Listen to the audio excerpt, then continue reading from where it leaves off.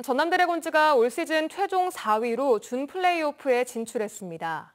전남은 이제 1부 리그 진출을 위해 또 한 차례 물러설 수 없는 한판 승부를 벌여야 하는데요.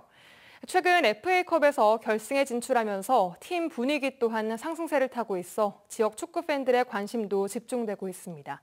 김주희 기자가 보도합니다.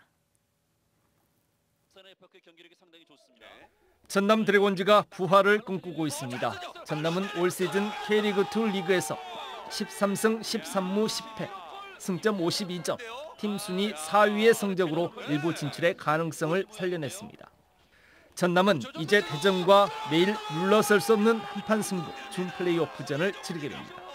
전남은 대전과 이번 경기에서 무승부를 기록하면 올 시즌 플레이오프 진출이 좌절됩니다. 전남 드래곤즈는 어렵게 살려낸 일부 진출의 불신만큼 필승의 의지를 다지고 있습니다. 일단 다가오는 준 플레이오프부터 천천히 차근차근 올라가가지고요. 꼭 겨- 전남이 원래 있던 K1 자리로 올라갈 수 있도록 저부터 최선을 다하겠습니다. 전남은 올해 FA컵에서 2부의 반란을 일으키며 결승 진출까지 확정지으면서 팀 분위기가 상승세를 타고 있는 만큼 전반적인 기대감이 적지 않습니다.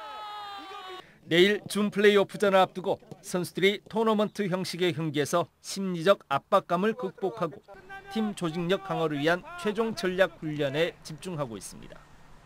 한 경기에 모든 것을 걸고 해야 되는 거기 때문에 뭐 부담이 있다면 부담이 있지만 사실 갖고 오는 것도 굉장히 많아요. 결과가 나온다면. 그래서 그런 것들에 너무 압박받지 않고 어, 본인들이 할 수 있는 역할에 집중할 수 있도록 선수들하고 계속 소통하고 있으니까 2018년 시즌 이후 줄곧 2부 리그에 잔류해왔던 전남 드래곤즈. 전남의 1부 승격을 위한 도전이 올 가을 지역 축구 팬들의 최대 관전 포인트가 되고 있습니다. MBC 뉴스 김주입니다.